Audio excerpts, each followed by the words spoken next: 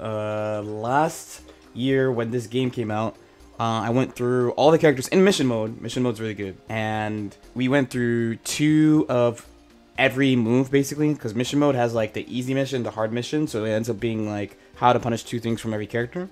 So we want to do it again because th some things change, right? Something's changed since then. There are more characters. We had a couple of patches since then. Okay, so first, Sol. This is a Sol Classic.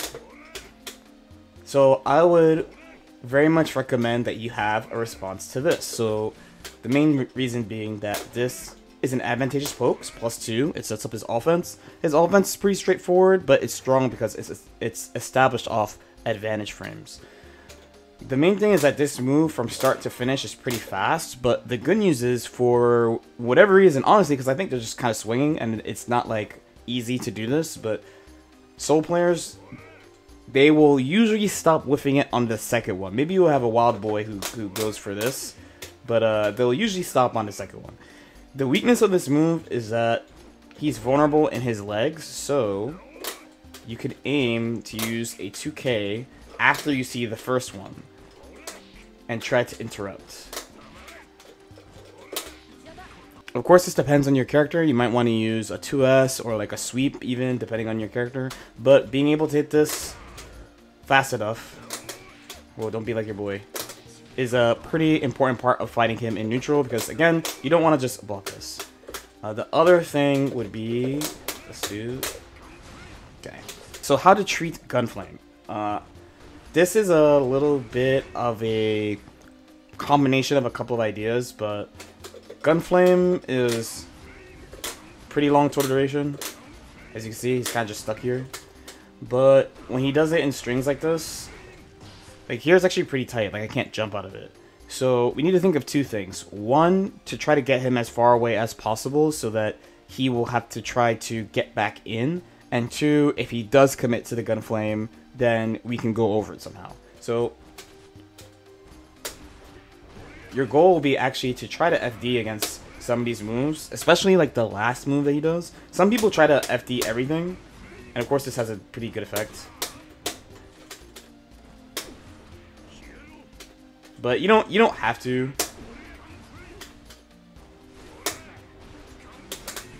The main thing is that if you have a big enough gap, you can go over Gunflame and get a counter hit here. So this is an easy way to turn things around without having to directly challenge things like after his far slash, after his close slash. But you can try to push him away and then get him to use some sort of special cancel and we can guess there instead.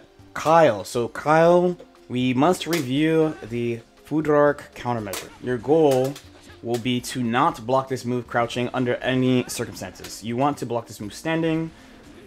When you stand block it, he is minus one. So instead of getting hit here, he'll counter hit me 100% of the time.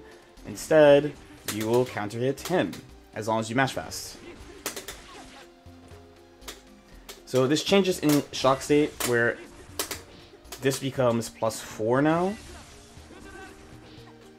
So here you're kind of boned. So in shock state, your actual goal would be to try to hit this move, preferably with something fast like a 5p, by the way, this is never a string that we use, but...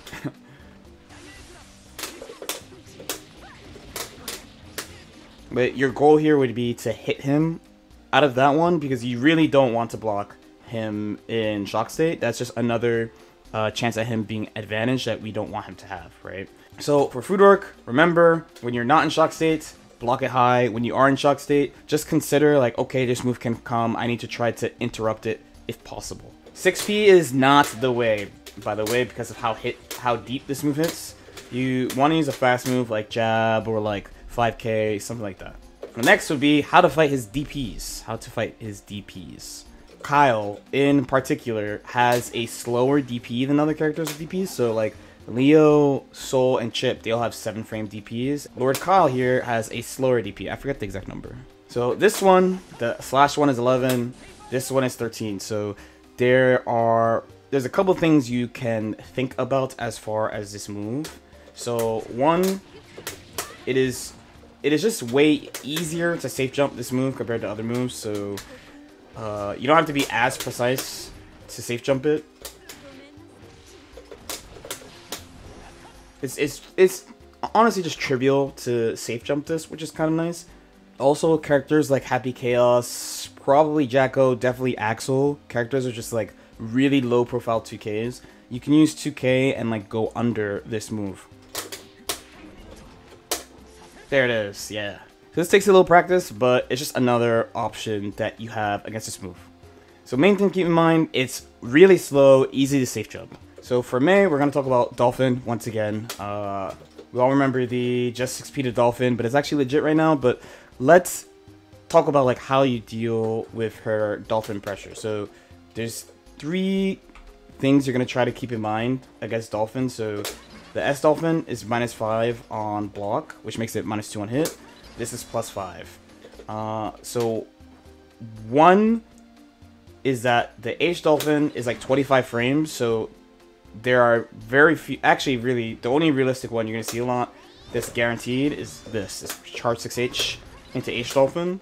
Besides that, the minimum gap you would have would be for something like this, which is uh, off the top of my head seven frames, which means you can jump out of it. So how you deal with this depends on your character and what you're gonna be thinking about. You don't really want to block H Dolphin because it's plus five. Uh, if your character has a high jump, you can actually try to do something like this. I've actually it doesn't it actually doesn't matter whether or not your character has a high jump for this. Okay, got it. So here we have pretty common string. This is S Dolphin, and then this is delayed S Dolphin, and then this is H Dolphin, right? So so here, since the S Dolphin is minus five, that means it's minus two on hit. So when main doesn't have meter, actually, your your safest countermeasure is actually to legitimately just hold up against everything, because the S Dolphin will be minus, and then this one is still minus even though you got hit, and then if she ever chooses to do the H Dolphin, May for the culture, then you just jump out. So this you'd have to see what type of punish you would get for the H Dolphin.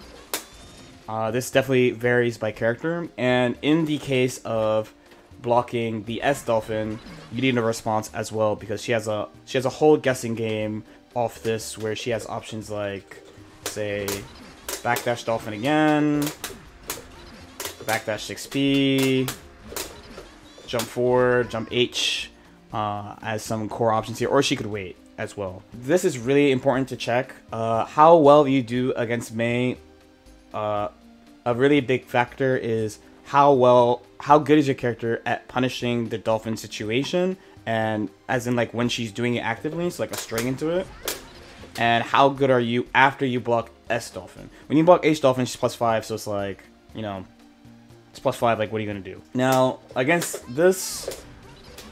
You, if possible, you want to try to IBFD it. If you end up stand blocking at FDing, you're still in a pretty good situation.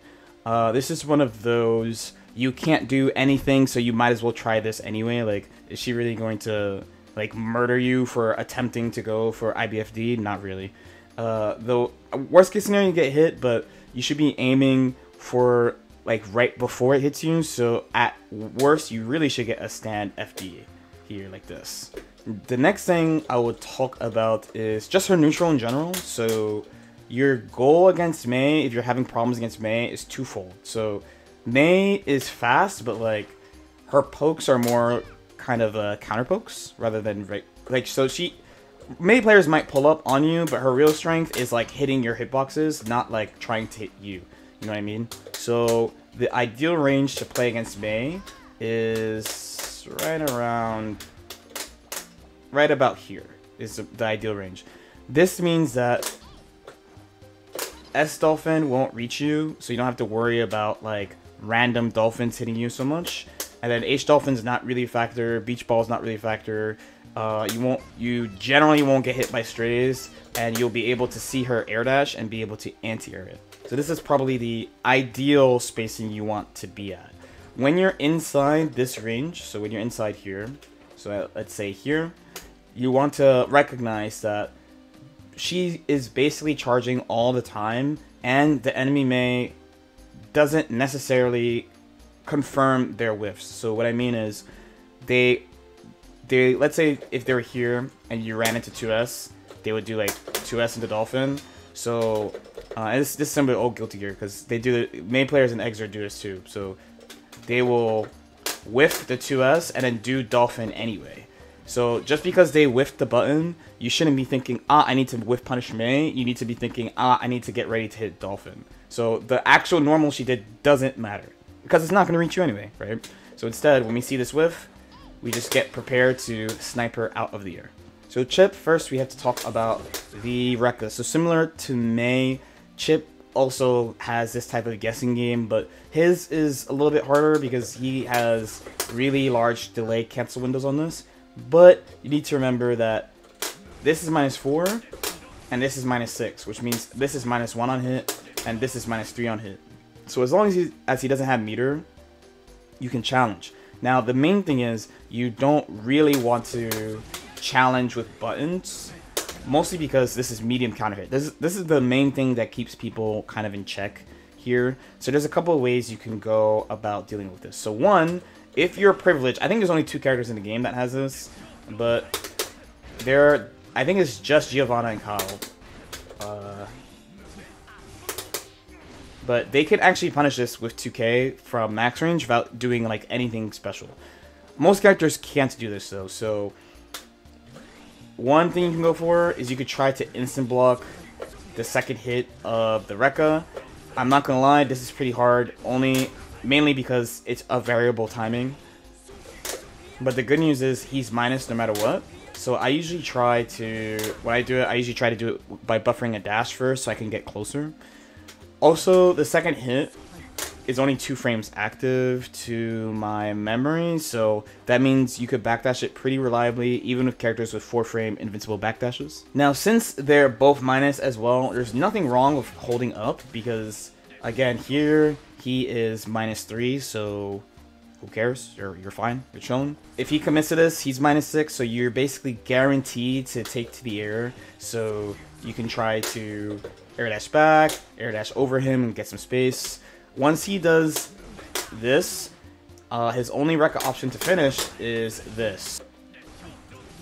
So if they if they show this at all, um, this one's a pretty big risk. The main reason they would do this without meter is for, for characters like Gio who have the guaranteed 2k, because you have to mash out that 2k.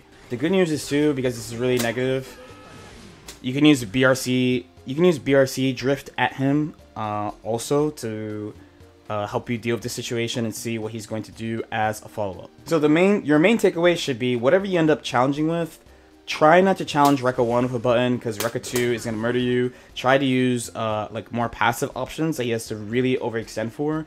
And then remember too that his second Rekka is minus 6, so that's a fine place to challenge on. Then we got to talk about just general neutral. So this character is just a god of neutral. There's, there's not much else to say. He's really, really fast. This move is 9 frames and his esports is very big.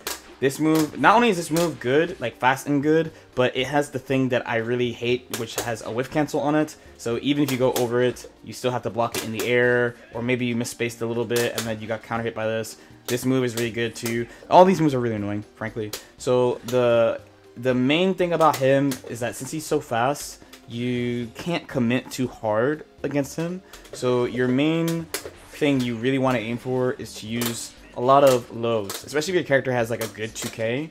Uh, and in general, you should be poking with moves that have very, very low total duration so that the Chipp player can't see it very easily. So if you're like a Zato player, try using 5p and 2p, Millia 2k, Gio 2k, Kyle 2k and 2s. You use moves like that. Uh, if you're going to use a move with more total duration, uh, Gio's a little bit special, of course, because she has this, right? But if you have like a Kyle 2S, you want to make sure you really try to hit him with the 2S and not with it. But with 2K, it's fast enough and safe enough that you should, emphasis on should, be fine. Now, once you get to this point, he's going to start maybe mixing not just this and this, but he might add this. So his air dash, he acts faster than other characters. So if you have a fast 6p, then you could just 6p it normally. Uh, but if you are cursed like Gio and you and you can't, I'm getting lucky here by the way. Normally, that's what happens. So if you if you can't anti-air him very easily, then you can aim to meet him air versus air with whatever button. So Gio, I use JS. I know Zato players use uh, JK. This is pretty reliable to intercept him because you have to remember if he does IAD, you have to take the IAD startup plus the startup of the air move. So your rising air move should basically always win.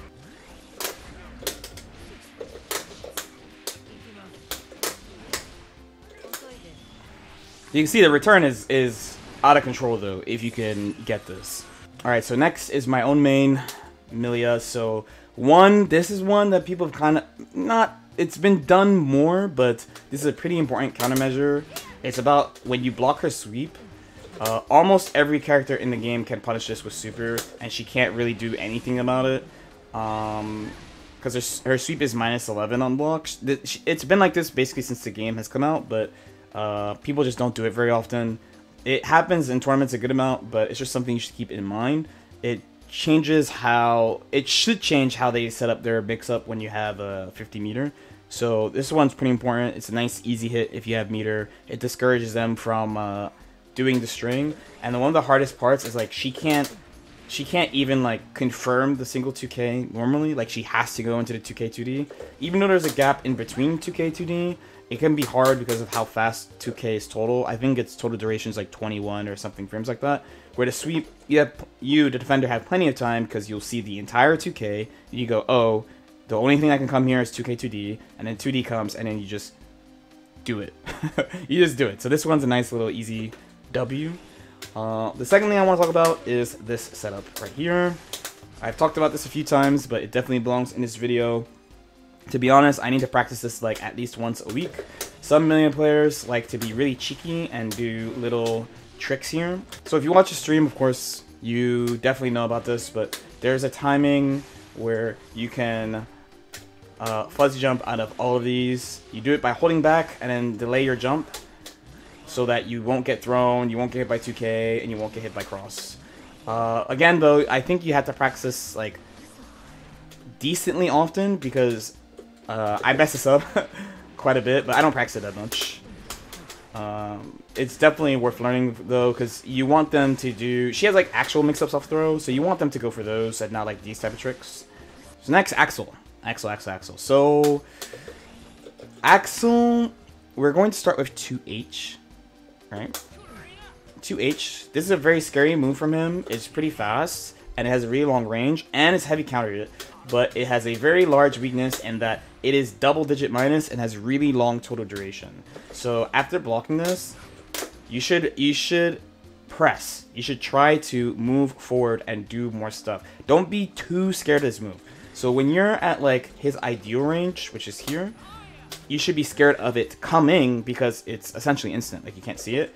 But if he, uh, let's say he whiffs this. So you see how it has a very long total duration? Like, that was a punish. So if you go over it, very easy. But also if you block it, again, he is above, I want to say it's like minus 11 or 13. I don't remember the exact number. But it's more than minus 10. So you can push, you can pull up on him. And his uh, special cancel options are not so great. So this is from his max range, right? So... Ren-Sen is pretty slow in this game, so you don't have to worry about getting hit here. Uh, if you're brave, you've got that. Then this doesn't do anything at that range besides just go back to the 2H range. This is kind of a jump scare. They're not going to get this on you if you're awake. And then here it is whiffed, which would mean that so if I had like a random thing going on here, that's fine. Oh, spooky.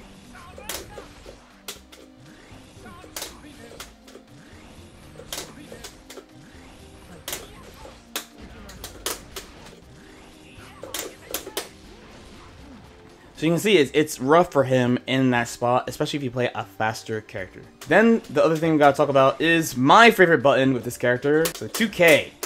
2K, the button I get mean for, because I play him versus Leo, and I press this button quite a bit, but it's exceptionally good. So he's very low profile, it's 5 frames, so it goes really low. Uh, sweep is pretty reliable after this, and even in cases that sweep would whiff, uh, if he does hit this, uh, he can combo out of it. Both 5k and 2k here. 2k both in neutral and on defense. So in, in neutral, if your character relies a lot on jumping to get in, you need to use a move that hits deeper to make sure that you can hit this 2k. Uh, in Gio's case, I'd probably use like something like this.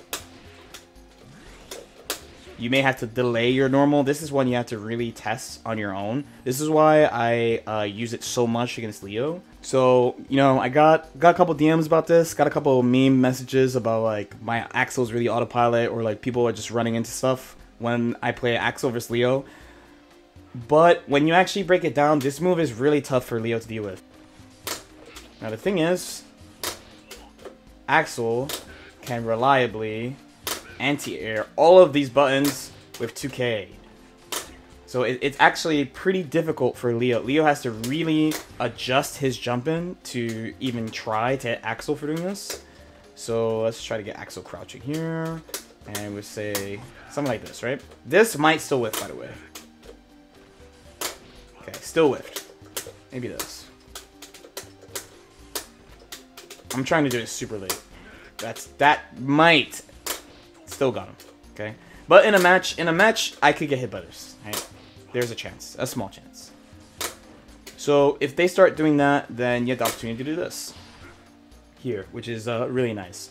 Uh, and this makes it so you don't have to play like this game so much. This move is really committal, where this one is, as you can see, it's not committal. So you'll need to make sure that you know how easy is it for Axl to go under your jump in with 2K. Uh, but on defense is also con uh, consideration as well because it's very low profile, so it can go under stuff. I don't think it goes under this. I think Leo's esports. Oh. Oh, I mean, I think I'm winning speed here.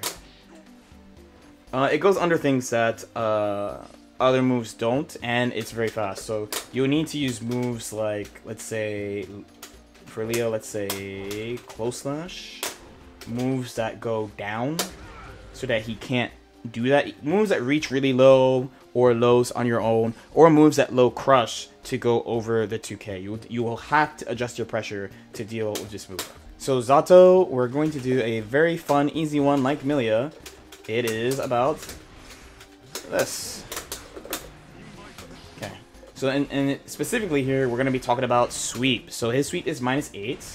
So if you're esports like Gio, you can get over there, and there's not really anything he can do about this. Yeah, it, it is minus 8, so if he gets pushed out far enough and he can't get there in time, he's going to block, but all his uh, special cancel options are boned as well.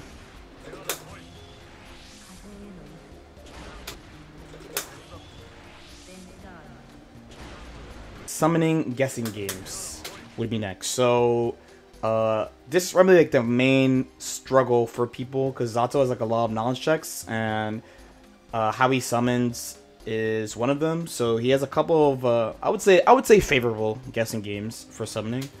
So we're going to do a simple one and we're gonna talk about his 5H. His 5H attack level two, uh, sorry, four, which means that that this is essentially guaranteed. So you can't like mash out of it or, whatever, especially if you're maybe like a Sol, maybe Sol can mash out of it. I don't know, but uh, you can't jump out of it or anything. So he could just do that and do the guessing game off that. But if he does the guessing game off that, then it gives you, the defender, a little time to like recognize, oh, it's here, it's coming. The type of guessing games he would do would be, uh, for example, Okay, so that is to stop jumping. This is if he thinks you're gonna respect. And let's get it here. This is stop mashing. Now, this of course loses the jump, and this is stop mashing, but if you're using a, a fast move to break Pierce, it shouldn't really matter. This loses both to jump and to mash. Uh, this loses to Mash, but this is basically a guaranteed mix-up if he gets this here. This loses a jump, but uh, mashing uh, here is kind of weird. Uh, Zato actually has a bunch of ways of setting up drills that will make your mash with. So the best way to think about this is you want to pick something that beats multiple things that he has to call out at all times. So generally, the two safest ones are just mash and jump for the most part. So if you get hit by this, you actually can't mash this anymore. And you can't jump it anymore. So people tend to hold this, but actually... So... You can actually backdash this much easier when you get hit by the first hit. Especially if you have a 5 frame invincible backstep. You can literally just mash here. When he sets up this type of situation off a lower attack level move, he's usually much more direct about what he picks. So like, it's way less likely for him to do this, I'd say, like 2S into Pierce in like a block string, as opposed to something, or like, let's say like 5k Pierce.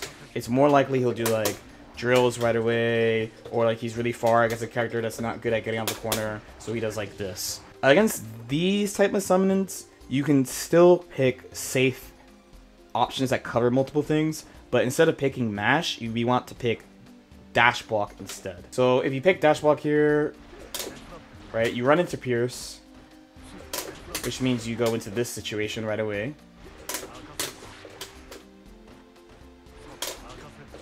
Of whatever you want to do. Uh, if he does Nobiru, you actually run under it. Uh, this one kind of depends on your character though. Uh, your Gold Lewises of the world, uh, of the world, you might have to pick something else. Again, you should check with your character. Uh, if he does drills, I'm like, oh snap, and I'm out. And then if he does oppose, well, you know, I'm good. And ideally, I would get, I would get all the way, but Millia has a baby throw. There you go.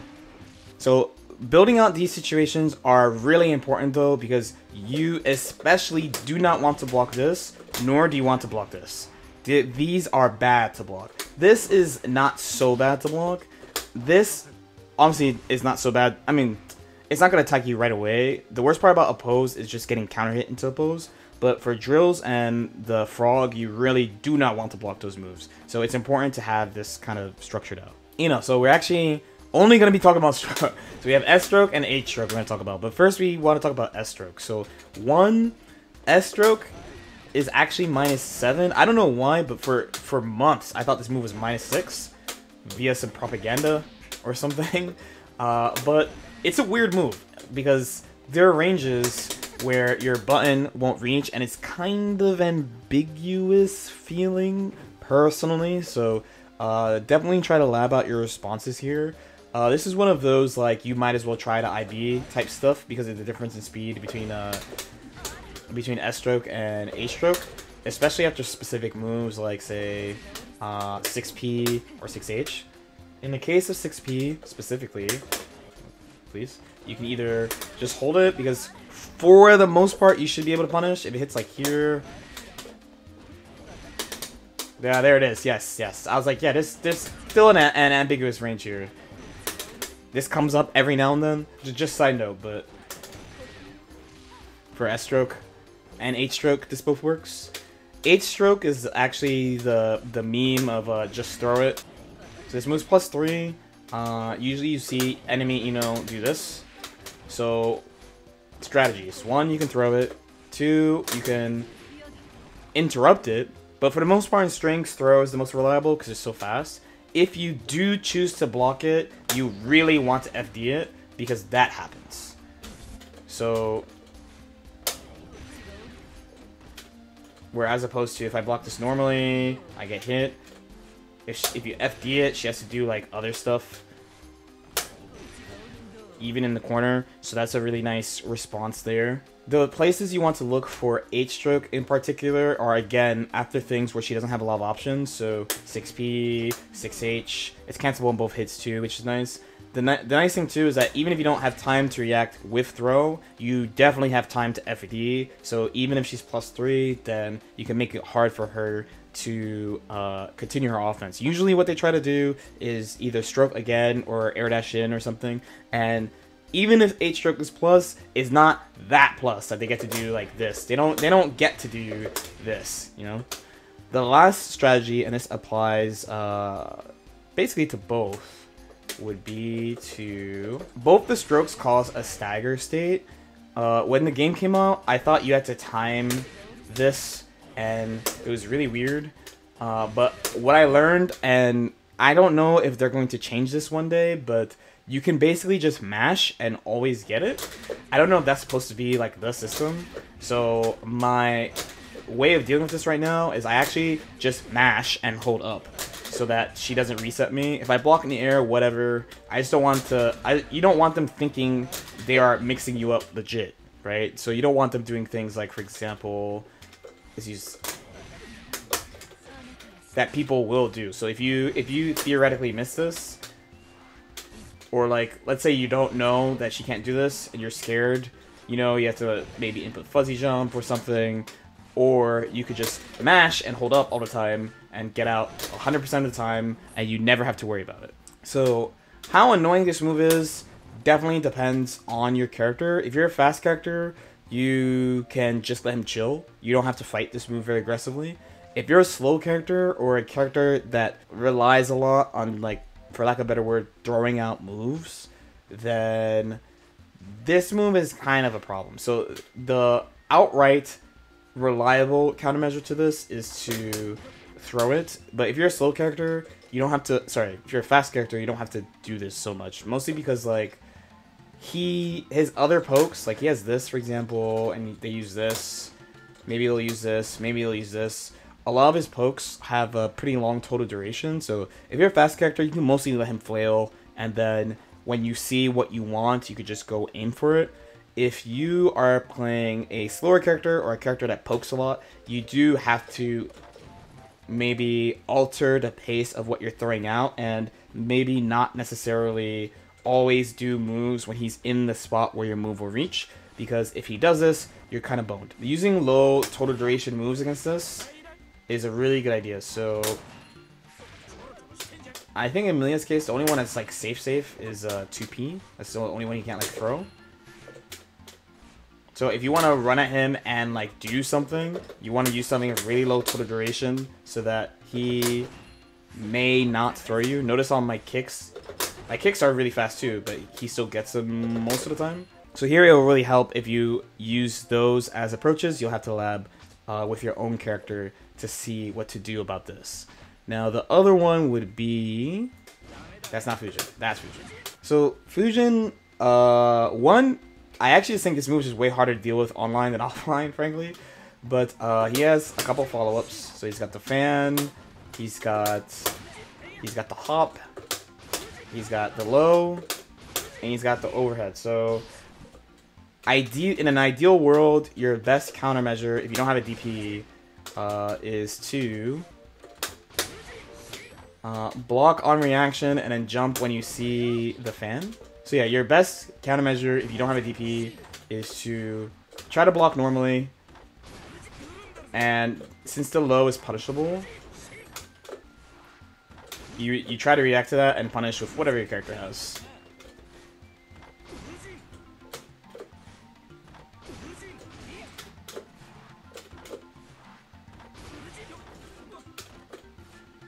Okay.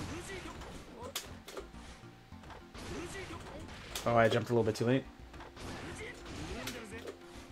This definitely takes a little practice. The reason why you, you want to kind of like delay your jump too is because the fan in particular doesn't have a hitbox until it pops like that. If you have a DP, you have way better options against him because he can't, to my knowledge, can't really deal with DPs after the Fujin follow-up. Uh, I'll practice a little bit to be sure too, because you really, really don't want to get hit by that raw, because that leads into a full combo, and it's not fast. So even, as long as you don't twitch or try to like OS guard, you shouldn't really get hit by this either. So Baiken, we're going to start with her legendary Tatami Gaeshi. So this move is really good at controlling space, but it actually has a pretty big weakness, especially when people do this. So it is, it just doesn't, she lands before the tatami lands, so she's vulnerable. So there's a big difference between like air dash back tatami and like like falling super jump tatami or like air dash forward tatami like when she's going backwards it's pretty hard to deal with like you basically just have to let her do it if she's doing it on like single jumps or super jumps, you can definitely challenge her when she lands. And if she's doing it as an approach, I think in this version she basically like can't because of uh, how how slow it falls in this version compared to previous Guilty Gear games. Uh, then you have this. Let's talk about this parry. So it's very fast. It's, it's pretty strong when she has PRC. Now, while while the Baiken players can do this basically wherever, the main place that I would consider parry to be a strong option you have to look out for would be in safe jump situations and in situations where you, the attacker, can't vary your offense for some reason. So this one's a pretty straightforward example. This is supposed to be a safe jump. She just smokes me, right? Uh, an example of a place where I can't vary my offense would be after my 2K. She can interrupt this, no problem. This, as I mentioned before, this actually does have a gap in between it, and I can't alter my timing on it at all. So I have other Gatling options, like 6H and 6P. Uh, the only thing that'll keep me safe is 6P. I can't delay at all. I'd have to do this, which is something you basically never see Millia players do. So those are the two main times you should you should think about parry. It's not active for very long, so it's not very good against delay chains, but it's a good way of calling out your timing if they're like, oh, they always delay like that or something. I still hit. I still hit her. I still hit her. So those are the, the main spots I would say watch out for them. What would you do if you think she's going to parry here? So in this example, I, really the only thing I could do is just do another 2k or wait for the parry. Uh, in safe jump situations, this depends on your character uh, quite a bit. So in Millia's case, I would use this because Baiken can still parry it, but she has to change her timing uh, by quite a bit. So it, I think it makes it hard for her to pick when she should parry. Uh, for other characters, if I had a resource, I would probably run up and BRC the recovery to see whether or not they're doing it, and then like attack. Okay, so Faust, we we have to talk about this move. So it's actually a really good move. It's a good like kind of anti-ground button poke that can be hard to deal with, but sometimes they do it somewhat high. And his cancel options are actually not that great, but you do need to lab them. So he has two main... So he'll either do nothing, which is not that good for him, or he'll do... Uh, let's make him backdash.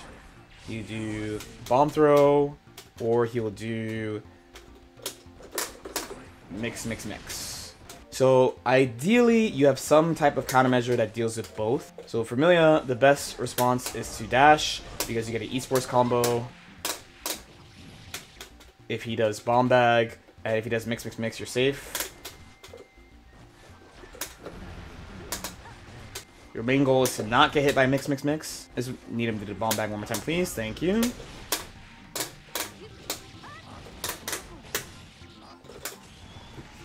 So this helps a lot, of course, because it just heavily discourages him from taking his turn here. So it really does help to lab this free character. Not everybody can pick run as an option. You might have to do something else, but again, that is character specific, so just take your time on that. Uh, and then we want to talk about item throw. Specifically, it'll be two ideas. So one, it's the total duration is really long, so even off attack level 4 moves, he can't liberally do this. Uh, my recommendation is similar to against uh, Axl uh, 2H use dash block against him and try to see what he's doing so that, that you don't get hit by scalpel and that when you run at him and see the item you can make your choice of oh am I gonna, going to attack? Am I going to wait because he got hammer or something? And then the other thing is you should actually try to have a countermeasure against each item. So not every character will treat all these items the same. So he's got bomb 100 ton donut banana afro meteor mini faust trumpet and hammer Hammer and Meteor, you can't like really fight, but for the most part, the rest of its items, both players can interact with. So specifically against Trumpet, you want to make sure that you have something to deal with him running away, because a lot of Faust players say it's bad when you get it, but they have many ways of altering their air movement up here and stalling until it goes, and he has good air normals, so between this and maybe falling with this, falling with nothing, using bomb bag, he has a lot of ways of varying his air mobility. So uh, in my case, I tend to use this to go up there. I use Millia's JD. You might want to see what you can do if your character in particular. Meteor is really, really, really fast, uh, but the pattern it lands on is kind of random. So I would just say don't be too afraid unless you're already like really high up in the air. If you're on the ground, I would say just try to keep fighting or like try to move forward or something. Like don't think because he has meteors neutral is like over over the way it is kind of with hammer. For Afro, I mean you don't want this. Because then they turn into JD bots and the situation is really bad for you. So ideally, you don't get caught by it. But if for any reason you have it randomly, you need to remember that they're going to be going for this non-stop. Like they really, really want this really, really bad. When he gets it, he will have a, a powered up version of his bomb bag. But also when he gets it, he loses head invincibility on his 6p. Very painful, very sad.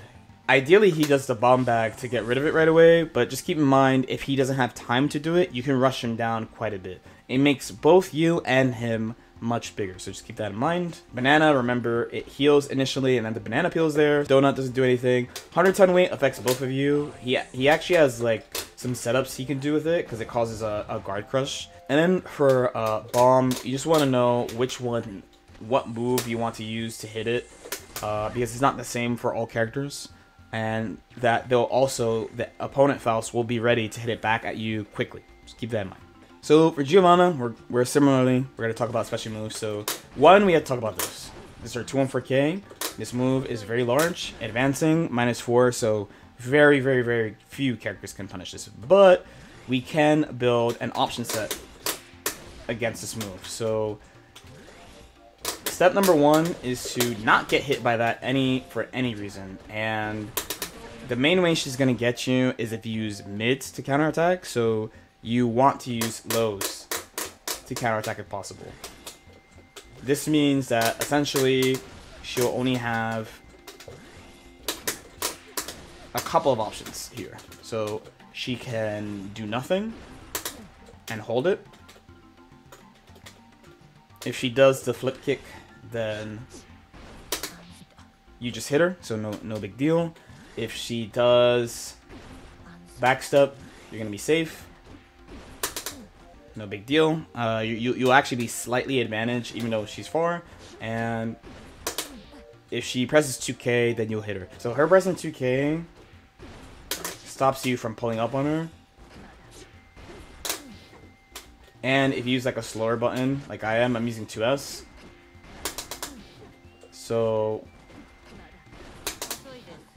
because this move is, uh, if I recall, 11 frames, I can't actually use it here. I would need like a 10 frame here. I'm going to lose this 100% of the time. So that's what that's there for. So if they pick that in the situation, it's not bad. It's just that they think you're going to chase them hard. Uh, the other move we want to talk about is 2 and 4S. So a couple things. So it's plus 4, crosses up, you have to block it high. TK'd, it's, uh, so Tiger Kneed is, uh, plus 6. Uh, there's a couple of ways you could deal with this move. So in mid-screen, if you don't know when it's coming, you can try to use the Fort PK option select here, which will give you uh, 6p if she goes over or FD if she doesn't. That's one way. You can straight up react and press a button because it's not a fast move. It's just kind of a weird move, but you have to be kind of waiting for it. There's certain situations where you can fuzzy a 6p, so like put in like a delayed 6p.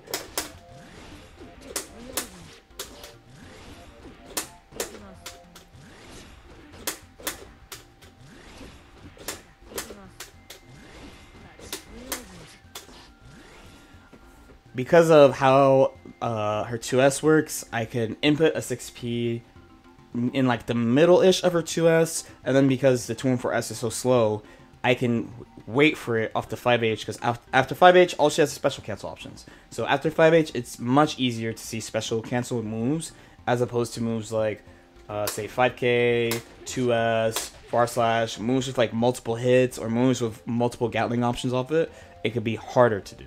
And then and then and then we have Axl, who, since his 2K is really, really low profile, you can straight up do this. So I believe like Axl can do this, Jack-O can do this, uh, Testament should be able to do this as well. It is a little bit of a timing thing,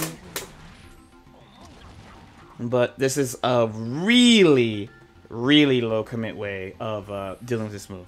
Goldlewis. Gold Lewis, Goldlewis, Gold Lewis. We're going to talk about 684 specifically. Uh, so, a couple of small points you want to know. One is that in neutral, you really, really want to whiff punish this anytime this comes out. You want to whiff punish any uh, Behemoth Typhoons in general that he whiffs, but 684 is one you're going to see pretty commonly, so keep that in mind.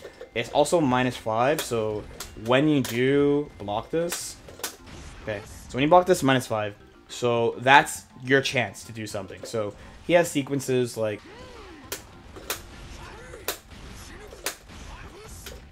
So in these spots where like you don't know when your turn is against this character, uh, one, you definitely want to try to FD these. But two, the turn is over when he does 684. So once he does 684, both you and him can act. It's only minus five, right?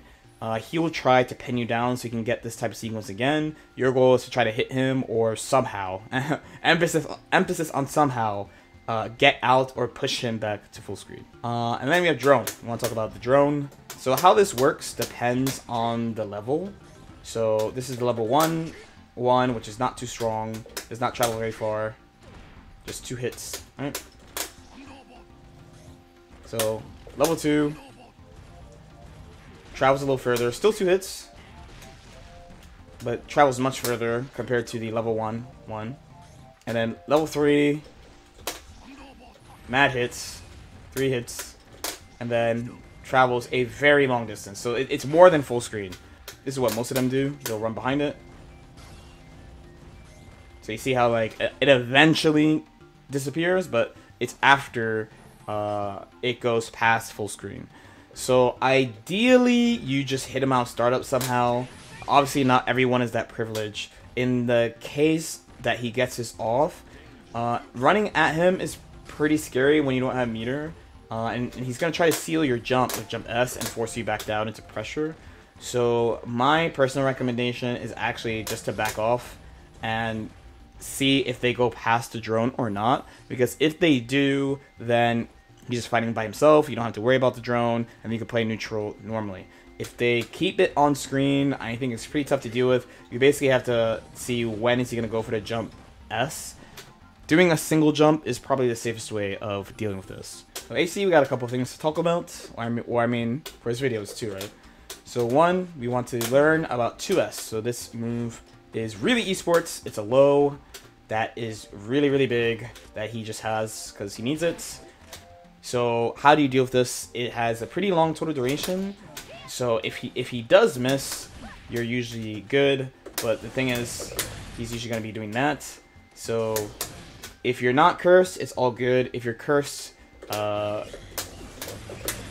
you are super in trouble when he whiffs this. It's it's fine if you play a fast character. If you play a slow character, it's pretty hard to deal with. So if you want to challenge it hitbox versus hitbox, you need to think about whether you have a disjoint that hits here or something that can hit his head that can hit from far. So like Millia has, for example, she's got S disc, she has 6H, uh, her air dash is fast, she can get over that, or you can wait because she's fast, but I wasn't fast enough.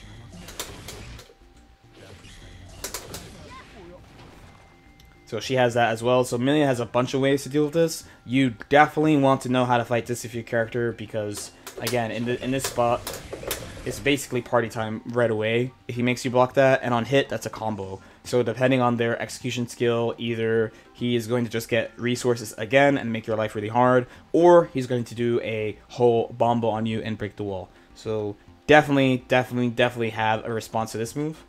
Uh, then I just want to talk about some gun basics because uh, like this character is hard to fight and it's, it's definitely one of his strong points is using steady aim but uh, again I, I just want to make sure that people have like their baseline of what they should do so point number one you need to remember is that Happy Chaos is his weakest at the start of the round. So if he hits you at the start of the round, he gets wall break into win condition, which is really amazing. But if he doesn't, either he chooses to run away or you get away or you win uh, the round start, then he only gets to shoot three times. Uh, if he if he does a four steady aim shot somehow, then he's gonna run out, and he can't do it quickly. He has to wait each time.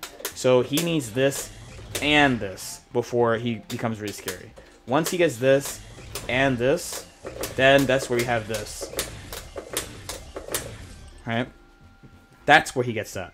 But he he has to both curse you and get the focus. He can get it from comboing you, and he can get it from neutral structures. But for example, I play a fast character, so it's harder for me. Uh, it's harder for him to get this off me on neutral compared to like a slower character that can't move, like say Goldlewis or something. So we want to really pay attention to his resource bar when it's shining like this. He's got the focus power up.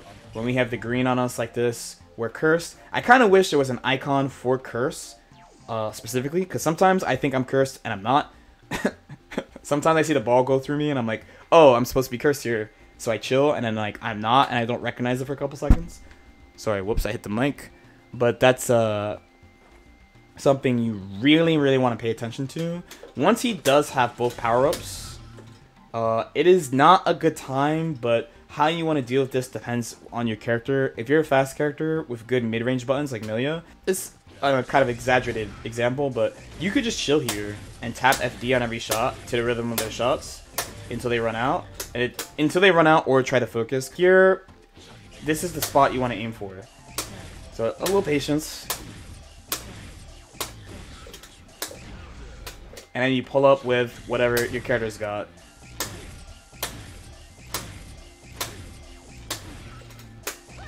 This is kind of a guessing game for both characters, right? So it's it's favorable for him, but if you have something that can reach from around here that's very effective, uh, you can use 5H, you can use Far Slash, uh, you use 6H also if you think 2S is coming.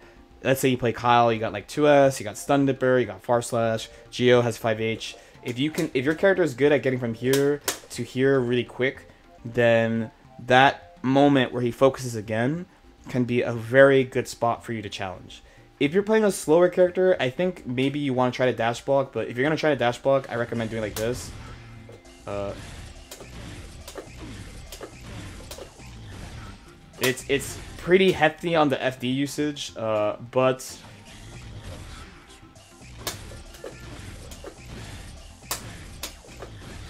But the good news is you won't get the backdash bug, so like some people try to dash block and they'll get this because they do it too fast. And then they get hit and they get become really sad. So doing it this way, so that I'm holding KS so that I, it's impossible for me to backdash. So then I just tap, dash, and back just like this. So Jack-O, we of course have to start by talking about 5H. So this move I don't know if it was always like this or if they buffed it or something, but this move is, is nonsense, honestly. It's minus 6, it's traveling, it's disjoint, it has a really good return as well. So there's a couple of things you can do. Her her lower body is kind of exposed, but like it's pretty hard to hit, so I don't actually recommend going for that. Uh, what I tend to do is I use neutral jump a lot against this move. And the good news about using neutral jump is that if they use sweep also, you'll beat the sweep also. And if she's doing like any other buttons, you you'll just be like, oh, okay, bye. Like, uh, uh, bye. Uh, maybe not. The other reason why, like, counter aside, is that since it's attack level 4, this is plus. This is plus 2 uh, off the top of my head because of the attack level being so high. So it makes it so you don't have to play this game with her, and you don't get counter hit randomly, and you can see what she's doing kind of and force her to use more lower commit tools. At best too, she starts using this, which means you can just run at her and not have to be scared of like this so much or running to this. It's kind of nice. When she has 50 meter, she'll be a little bit more liberal with this because she can see what you're doing, PRC, and do all sorts of stuff. But still, neutral jump is good against that too, so you're good. Then it's minions, minion talk. One would be you really want a good way of hitting the minions for your character. It's different for everybody. For Millia, 5k is a really good button here. I generally don't recommend 6p. I know I see people do 6p, but I generally don't recommend 6p if, if you can help it, in case you whiff. The nice thing about 5k here is I can jump cancel, pretty nice. Uh, another thing about this move is that if you block it in the air, unlike most moves, you can move way faster. It actually does not have additional block stun, like special block stun like other normal jump-ins. So you might know that, and let's have Jack-O jump for this, if you block moves in the air, there is just a ton of extra block stun. Look how long it takes for her to actually get the opportunity to press a button. As opposed to, if you make her block on the ground, she acts really fast, right? So when you make people block stuff in the air, generally you force them down and they recover on the ground and then they could do whatever, meaning that you're usually heavily advantaged. But uh, for minions specifically, they don't have this property. I think it's because in like Xrd and XX, uh, you had air instant block, which made you recover much faster than ground instant blocks, and you also got your air options back for uh, blocking moves in the air in general. So really common strategies would be like, oh, air instant block Venom, pool ball, and then move. But in this game, instant block is only two frames, so they're like, okay, let's not have this be a thing, and instead we'll have moves just have less block stun in the air straight up. So this is very, very nice. See? Even though I super jump, I'm still I still get my air option back. So this one is really important to keep in mind because I see a lot of people actually not doing stuff after blocking these in the air and you should be doing something. Like she can't pin you down very easily, if at all, from this situation because you get air options back always. Okay, Leo. Leo, you guys all love this character, right? Leo Whitefang. Leo, we're gonna talk about sweep first. So this move is minus five. This, this this sweep is actually ridiculous. Like it low crushes. Uh, so by the way, for the people who are like, how does Leo actually beat this move? It's with sweep, and it's heavy counter hit, and it advances really far, and it's minus five. So if you're privileged, you'll have a nice guaranteed punish, but not all characters get this, unfortunately. There are there is a case where he does that. So if you don't have like a good uh, five frame move, like let's say Axl or something, I think the most reliable thing to do is just dash block. Because uh, usually they do sweep again uh, in this situation. So if you dash block, you'll be safe against the sweep. If they do DP, you just block it, you can punish. It's a little annoying that you have to play that game with him, but you know it, it just be like that. There's, there's there's nothing we could do about that, unfortunately. Uh, the other thing we want to talk about is this. Yes, Leo Leo players and their nice footsies, right? This move is ridiculous. Really good move. Really, really hard to mess with. The back turn slash. So how do we actually stop them from doing this? Because his walk speed and back turn is also quite good as well. So the main countermeasure you want to use is ideally some long range disjointed move, but like at the tip of it. So let's see, for Axl, the one I really like using is this. it's really, really, really worth labbing this because uh, just in this game, they, they really did maintain uh, how his back turn stance worked from Xrd, including all like the low total duration stuff and 5H uh, being basically instant and stuff. But uh, other characters have been tweaked or uh, things have been made slower and stuff. So it's, it's just really hard to deal with this uh, for a lot of characters. So I would highly recommend finding a way to deal with this because it will come. I promise you, it will come up. And jumping is not the answer. So if you have some type of summon you can use or projectile you can use, ideally some like sub 18 like long range poke that is hopefully also disjointed is usually like the best answer. And you can use it way closer than you think too. As like as you see, it, it is touching me.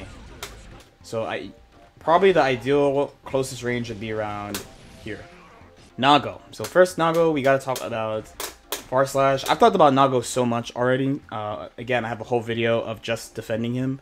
Uh, a bunch of things you could use to help defend against this character. But for the purpose of this video, uh, we're gonna talk about Far Slash, and then also... Okay. So, one, you should really make it a habit to stand FD the second hit of his far slash again, so that he doesn't get the poke throw without like physically walking up, like taking an extra step to walk up. This totally takes away this guessing game. Uh, I know there are people who like to try to IBFD this. Uh, I am not a fan because if you miss it, you're gonna see your FD go up and get bit. Like, I know if you did properly, properly, it shouldn't happen. Uh, but I'm just not really a huge fan of this. Also, as you can see, I don't have the timing. So I just think it's just easier to just straight up stand FD it and then boom. Now, this situation, so this is when he has 50. Uh, I just want you guys to keep in mind that there is a gap here. So you can't throw or anything. It's a one frame gap, but this means that you can do all sorts of stuff. You can super, you can DP. If you're a Baiken player, so call back to the Baiken section, but uh, this is a spot where he can't directly change his timing, and when he has 50 meter, you can expect them to spend it on this to keep their offense going. So every now and then, just remind them, every now and then, remind people that they can't just do far slash far slash far slash and get this back for free. Just every now and then, remind them. Right? Uh, if you have a meters reversal, easy peasy. If you need 50 meter to do this also, then for sure. This for me is like a once every three game type of thing. You know, I just remind them that they can't just autopilot do this to me, right? Then we talk about Beyblade in neutral. Once again, this move, very good. Very strong in neutral, instant, zero on block, cancelable into other special moves. Uh, there's a couple things you want to think about for this move. Uh, the main thing being that it won't hit you in the air reeling. So using neutral jump is a pretty good countermeasure here uh, because the main thing you would have to do is either chase you in the air or use 2H. Uh, if you go above this move, the Beyblade cannot hurt you when you're in the air, so so you're good. Just keep that in mind. When you're block it, it is zero, so the interaction after will be a lot of uh, hitbox hurtbox interaction. My recommendation is ideally similar to the far slash far slash. When you block a Beyblade, you want to be FDing it if possible so that they don't get you this. This thing is really annoying. When you FD it, it doesn't happen ever again. So if you're if you're scared of him adding like let's say one of these, so you don't want to mash and then you get bit, then I recommend FDing it. This is also a time where you want to pay attention to his blood meter because here he has less than one, but let's say he has like this much. Like if he has around like two and goes for it, uh, you don't really have to worry about the DP unless they are a, a huge gambling man. So that would be not a bad time to challenge. But for the most part, I personally just let them do it. I, I FD, stand FD if you can. Uh, I FD the Beyblade. And I always, this is always a theme for Nago, you always want to get them to the point where they can't gamble with special moves too much and that they just have normals and they're just trying to like, basically catch you. Catch you with like a random hit rather than using the pressure uh, to mix you up. Potemkin is next, so special moves. Special moves is the play of the day. So I'm going to talk about Megafist and Hammerfall in particular. These are two moves that are really important to know how to deal with.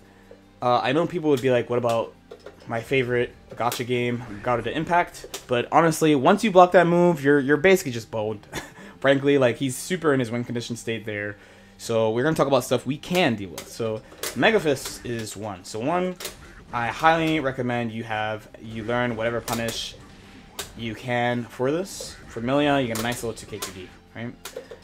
Now the thing is though, he has uh, this. It's been a minute.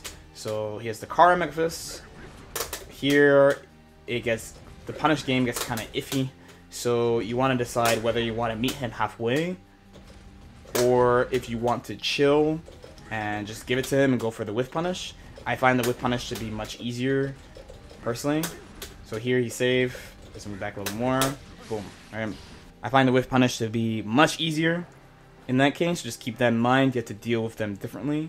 When he has 50 meter, uh, blocking Megafist is really bad because he gets the PRC into this thing. I probably did it wrong, but he gets pressure off that. So you want to be very aware of it in when he has 50 meter. In neutral, your goal is to probably make it whiff or intercept it. Of course, you don't want to block because when you block, he gets it.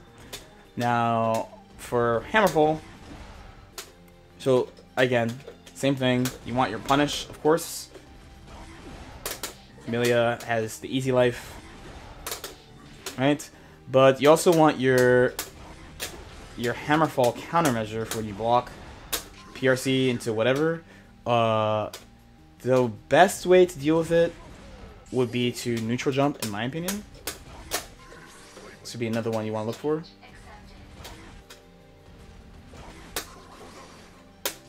Because you just kind of get away. He's still going to be advantage, but it's much better than taking the block situation.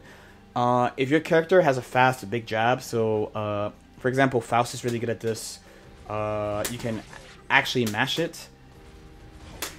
But this could be this is not easy for all characters though. I'm I'm gonna keep it hundred percent. Once upon a time, Millia could basically not do this. Uh, thanks to them speeding this up, she could do this a lot easier. Uh, I found this easiest with Faust so far. Another thing you could do, of course, if, is if you have meter, spend it. you spend it and use that to break the armor. That is also a really, really good response here as well. I know there are people out there who say throw this, but I honestly think that is pretty hard. So mainly in matches, you'll see me uh, use neutral jump, and I kind of just get them to use the meter, and I just try to get away. Some characters I try to just mash. The main thing being we don't want Potemkin to spend his 50 to immediately get in on us and have access to his win condition. And it's something that comes up every single round against Potemkin. Every round against Potemkin, he will get 50 meter, and every round against Potemkin, they will spend the 50 meter to try to turn the game around, especially if you have a lead. So being prepared for that against these two moves will help you out a lot. So Ram, uh, first I want to talk about uh, talk about buttons in general.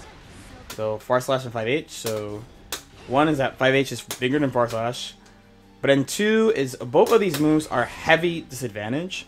So one thing actually, and this is something I continuously remind myself about versus character is that uh, you need to not fear these moves so much, and you need to be able to hold your ground because, like, when she does this, she has like pretty, I would say, good cancel options.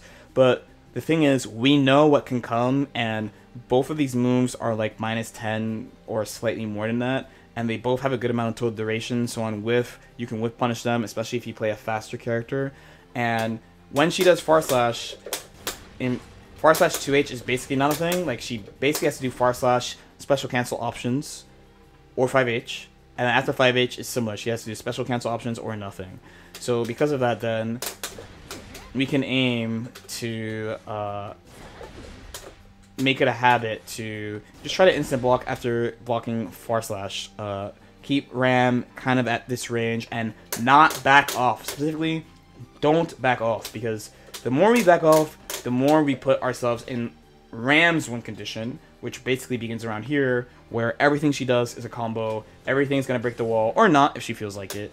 And she's going to run her super strong pressure game that I'm sure you guys have seen a cajillion times already. So we don't want to back off. We want to hold our ground and not be super duper scared of this move and just play just outside the range of far slash, which means you're playing in 5H. And just remember, it's disadvantage. It's fine that she has it. We can use our single movement options plus 6p plus trying to whiff punish to deal with it rather than always running away from it. I know it's scary because the swords are big and she has good return off it, but it will help out a lot if we stay here in this range and start getting to use more of these moves. Right? Then we need to talk about Rekka. So Rekka, one point number one is that this is minus five. So if they are taking turns of some sort, so let's say like this, and then let's say she can't actually do this, right? She it, it is punishable. Okay, it is punishable. The threat it comes from the delay second Rekka, but she can't actually confirm this without meter. It's very hard to hit confirm second hit uh, of Rekka.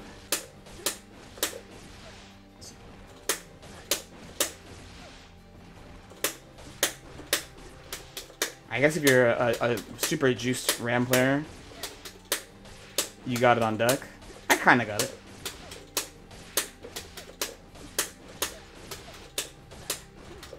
Oh, well, no. Never mind.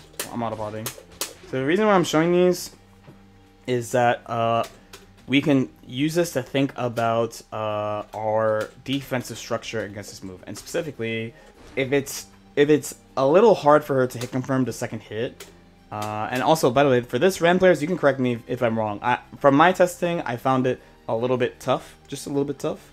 Maybe you get it with practice and stuff. And obviously, like she builds a lot of meter off Rekka, so very often she has 50 meter when she does this. But she has options like, say, uh, one would be, so she has that. She has this that they do, and then she has delay. So that's that. That's the delay second one, right? So uh, we can put it like a normal dash here. Sometimes they do this. These all lose to one option. You can just hold up. you can hold up and you can get away from a bunch of this stuff. Um, okay.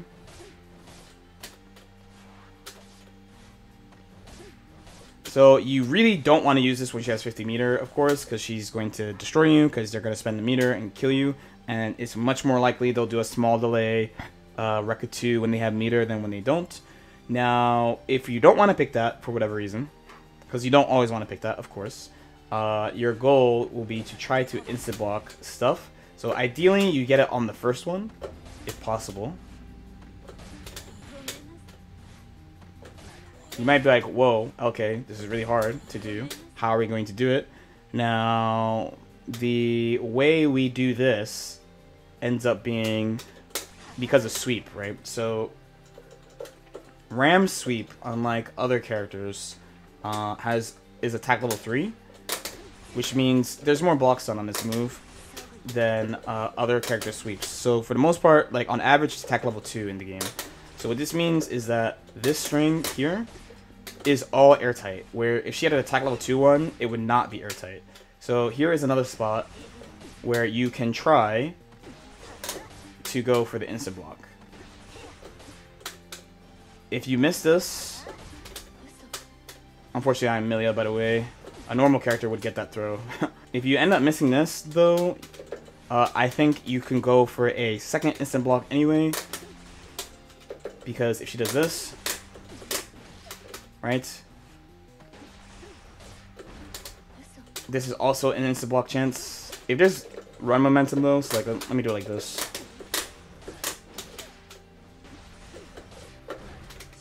Boom.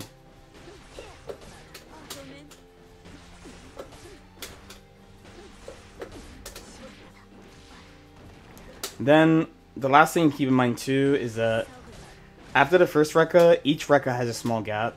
So similar to Nago, if you have some meter or a DP, DP of course is riskier, but uh, especially if she has 50 meter, same type of idea. Uh, you can spend meter in between the Rekkas. I'd personally wait for the second one because uh, the second one is much more disadvantaged. The first one is minus five. The second one, I think off the off the top of my head, it's like minus ten. Don't quote me on that one. And the last one is like just dummy, dumbest, uh, dummy minus frames on the last one. Uh, so if you have meter, you can treat it like Nago. Cool. Uh, I actually had to think quite a bit of what I was gonna put here for his character. I wasn't really sure, uh, but I decided it should probably be fighting this move. So there are two lives against this character. You have fast characters and slow characters. So fast characters, you, are just fast, you're chilling. For slow characters, uh, once this is on screen, your whole goal is to make sure they don't do this. So the neutral pattern that these characters use will be something like this, or another one they do is this. Okay, so you want to try to minimize the amount of times this happens. So your goal will be to either hit the startup of this by going over it. If it's out, then your next goal will be to just avoid Crow. Yeah, so Testament, Testament also has attack level 3 sweep. So this is airtight normally, but from a, a little distance, you can get over this. Because it has long total duration. So just keep in mind the distance uh, between you and Testament in these situations. So here, no, but like here, yes. Uh, similar to Millia 2, there's a gap in between the, the 2K and sweep. But I again, like like the Millia one, I think it's it's kind of hard to see. Like Chipp also has this. Uh, Chipp you can backdash in between 2K and sweep, but I I, find, I feel like these are pretty hard to do unless you're super super looking for it. Where uh, acting on the sweep is much much much much easier. For the air ones, you shouldn't actually be too scared of them. It covers a lot of space, but if you're on the ground already, like close, like Testament is generally not like heavy advantage after this. Like you, you can act. The main time where it's really advantageous is either off knockdowns or like Testament does like super super low and you block the skull really late. So if they're doing like air fireballs, you should aim to move forward. On top of that too, uh, you can relatively reliably 6p this. It's not like it's anti 6p by any stretch. Uh, for Crow, so again, your goal is to gonna is going to be to just avoid it when there's tracking on you. Um, they actually can set it up so that they can have the crow move like a normal fireball by just doing it normally. On the way back, it comes kind of low at Testament's waist, but you can do it again, and then you can fire it there. So just do one more time.